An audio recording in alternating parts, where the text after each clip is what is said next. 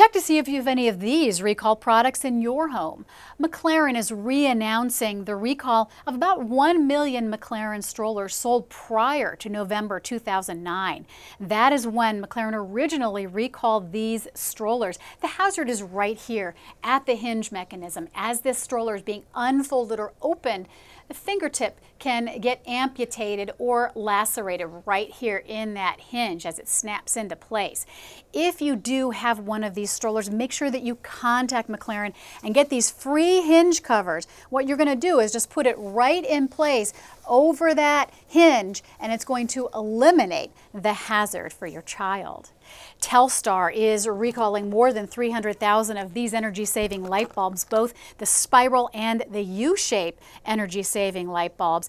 They can overheat and they pose a fire hazard. There have been reports of two fires with these recalled light bulbs. Now, they were sold under the Telstar and Electra brand names.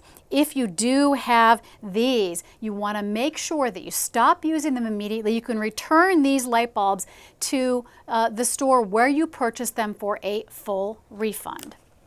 Pacific International is recalling these tea lights, about 7.5 million of them because of a fire and burn hazard. These candles have clear plastic cups that can melt or ignite, and there's been one report of the plastic cup melting while in use. It was sold under the Chesapeake Bay Candle and Modern Light brand names. Check CPSC's website to see if you have the brands and models that are included in this recall. They were sold for between 1 and $12. Now, if you do, you don't want to use them, take them back to the store where you purchased them for a merchandise card equal to the purchase price.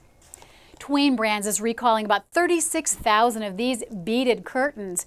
The hazard here is entrapment and strangulation. Uh, the two models that are being recalled are the disco ball and the diamond beaded curtains. The hazard here is that if you are running through the curtains or playing with the curtains, you can become entangled. It's also a strangulation hazard. So if you have these, take them down, stop using them immediately, return them to any justice store. That's where they were sold for a full refund.